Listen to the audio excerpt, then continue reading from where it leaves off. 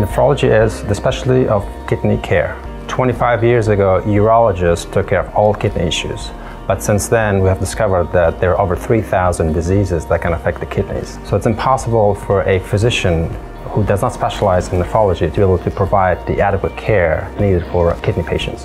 When I came to Dr. Amini, I had a kidney condition and the kidneys were going down. I came here expecting to go on dialysis sometime in the near future. It did not happen. Now, after several years, I'm still at the same level I was. That is an improvement. In my practice, only 1% of my patients require or need long term dialysis. We are very thankful to Dr. Amini. He always takes whatever time we need to fully understand everything. When you're in the room with him, there's only one person in the world, and that's the person that he's dealing with.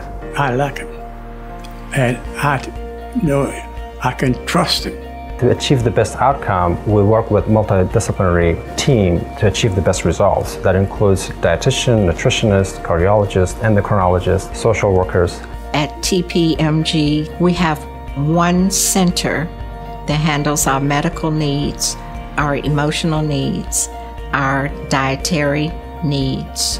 TPMG really cares. They make us feel that we are important to them. They not only say it, they show it, and we feel it.